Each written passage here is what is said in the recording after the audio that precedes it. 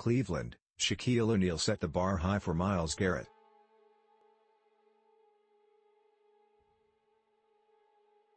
On TNT's NBA tip-off show Thursday, Hall of Famer O'Neal started a run of friendly wagering when he bet Browns three-time Pro Bowl defensive end Myles Garrett $1.000 Oh, oh, oh, he wouldn't score 25 points in Friday night's NBA All-Star Celebrity Game.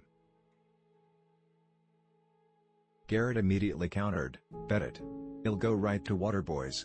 In September 2019, Garrett was named captain of the NFL Waterboys program founded by retired NFL defensive end Chris Long four years earlier. The charity's mission is to unite players and fans in support of providing clean, accessible drinking water to 1 million people worldwide.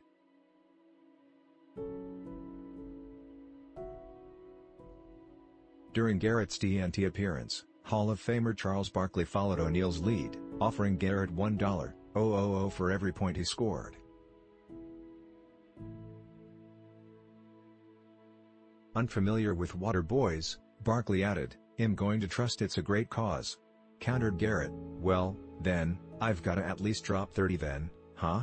Kenny Smith followed with a commitment of $1.000 for every rebound.